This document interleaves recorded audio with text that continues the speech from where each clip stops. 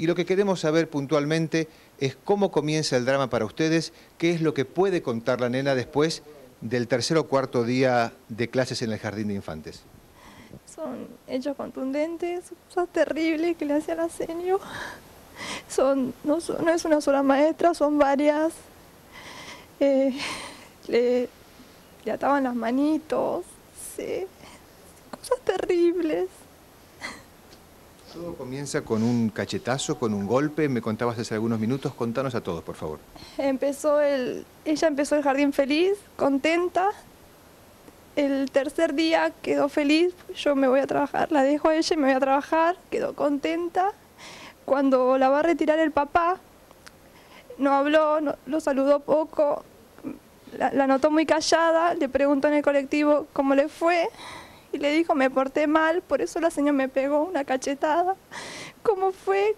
¿Cómo te pegó? Y, ahí ella se manifestó y le pegó con la mano bien fuerte en el rostro de mi esposo. Y, ahí empezó a contar.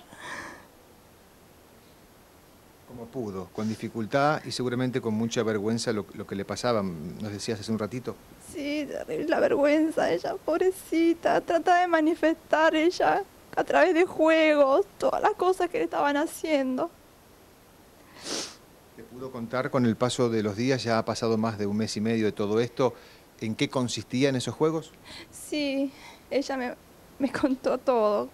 A mi, a mi esposo más le contó que a mí. Conmigo se aisló más, no quiere que yo la bañe, no quiere que yo me acerque a ella. Yo soy su mamá, le digo que estoy para cuidarla, para protegerla. Ella es mi tesoro. Eh,